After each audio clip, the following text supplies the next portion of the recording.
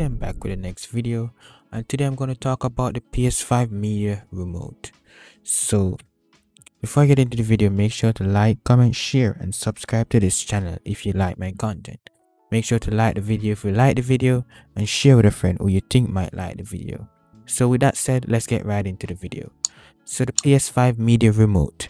It is a media remote as it's the name suggested and you guys might be wondering why would you need a media remote? So try to use try to use the ps5 to watch like videos or to watch like netflix or all those stuff. Try to use the controller itself with one hand. Say you're laying in bed try to use it with one hand and you see how inconvenient that is to use a gaming controller with one hand. Because when you're sleeping you don't want to you do, there's no way you're gonna want to hold that controller with two hands and pause Netflix or skip through a part in Netflix or select a show or all those stuff. It's gonna be frustrating after a while. So that's where a media remote comes in. As you see, Xbox always have a media remote.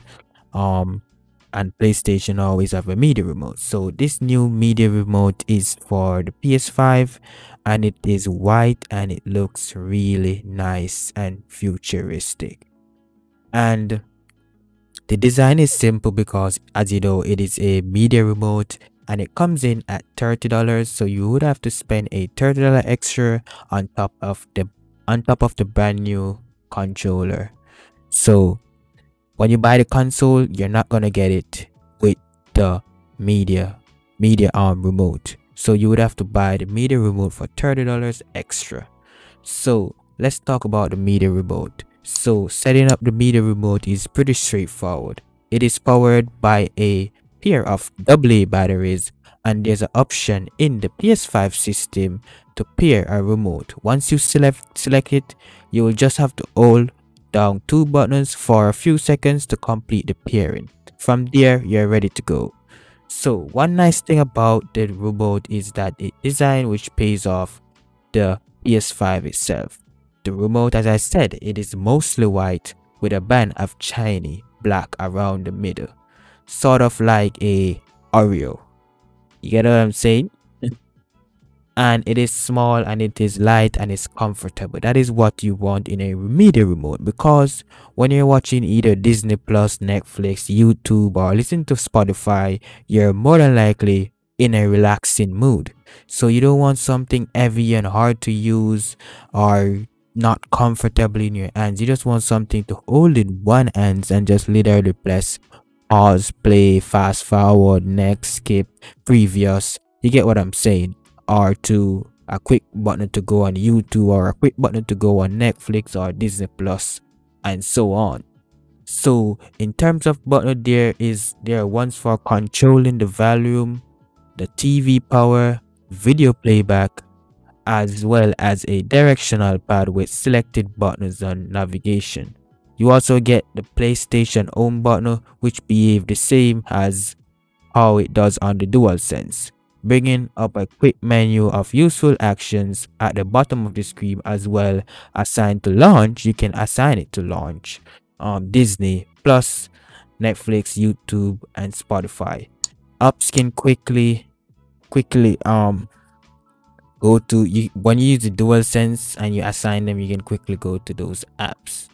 Um so it is said that there is a microphone that is built in on the con uh, not the controller on the media remote but we haven't heard anything. I don't think it is be able to like use as yet. I don't think you are able to use it but in the future you will definitely be able to use that microphone on the remote. So here it is. So you can use the the microphone is there but you can't really use it as yet but I'm pretty sure that you'll be able to use it soon. So here it is. There's also a button that doesn't have use yet, the microphone. So Sony says it will reverse, it is reserved for the future use. So I'm guessing there will be some sort of voice control or voice assistant for Sony to use um on the controller not the controller the media remote so that is pretty interesting um i can't wait to see um how they're gonna use that microphone in the controller. And is it worth the 30 dollars? Um i haven't got one as yet. I don't know if i will be getting one.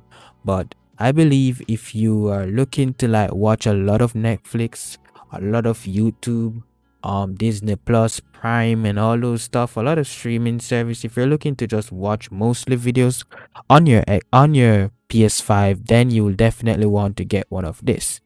Um i know on the xbox up on your phone you can use it as a controller. I'm not sure about the ps playstations if you can use your phone as a controller. Um as a media remote i mean.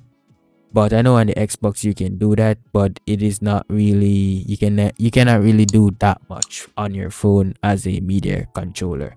But that is pretty much what i have to say for this video guys. Let me know what are your thoughts. Will you be getting this?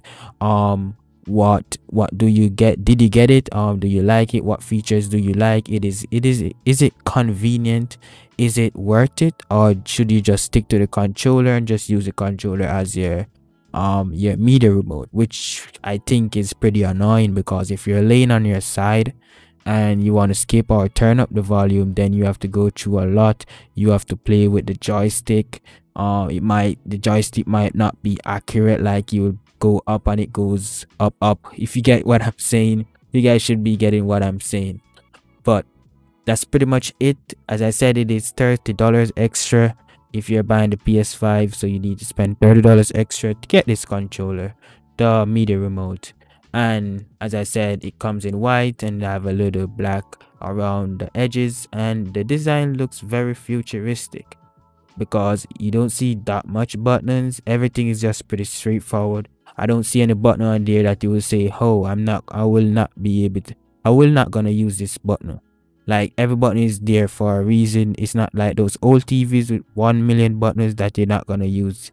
You're just gonna use the digits and all those stuff. So this is very convenient and i can see where a lot of people are going to use this especially if you're buying this for a living room or you're buying this for your kids. A lot of people will be using this remote to help them out. So as i said this is not really a hands-on review. I'm just reading the specs and reading this from a Verge article and talking about how it works, how do you pair it, and all those stuff. So hope you find this video useful. Let me know in the comment section. Thank you guys for watching. Until my next video, guys, I'll see you guys when I see you guys. If you reach this far, you definitely like my content, so consider subscribing. Thank you guys for watching. Until my next video, guys, I'll see you guys when I see you guys. Peace.